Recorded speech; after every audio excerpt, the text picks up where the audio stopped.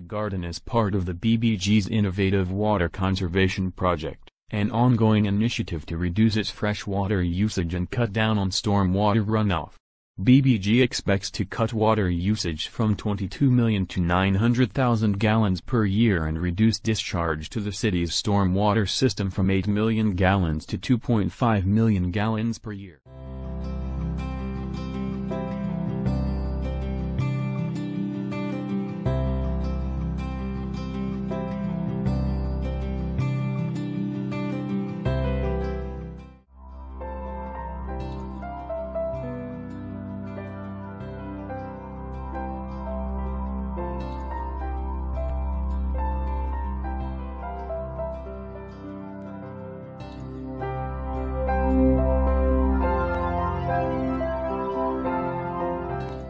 You can see his neighbor's property Yeah. over there. And it's the same. It's the same size It's lot. exactly it's the an same 800 lot. foot by 100, By 100 foot or whatever foot it wide. is. Yep. I mean, talk about before and after grass. Eh, exactly. What you can That's achieve perfect, with a little it? bit of vision is just incredible. Yeah.